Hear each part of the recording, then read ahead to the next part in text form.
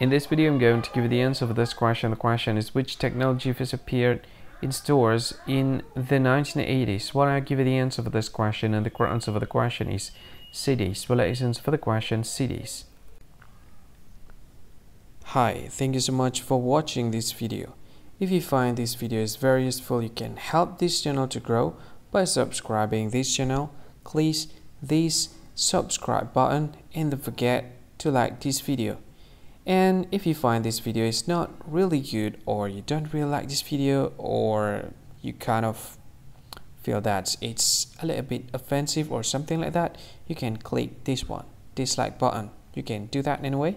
And if you want to share this video with your friend, you can share it by clicking this share button and you can share it to any any social media that you wish that is currently available at this time like Facebook, Twitter, LinkedIn, and many others. Right?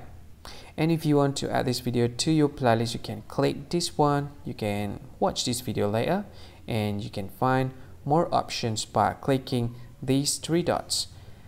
And yeah, don't forget to subscribe. I think that's all of it. Thank you so much for watching this video and see you again in another video. Bye bye. See you again.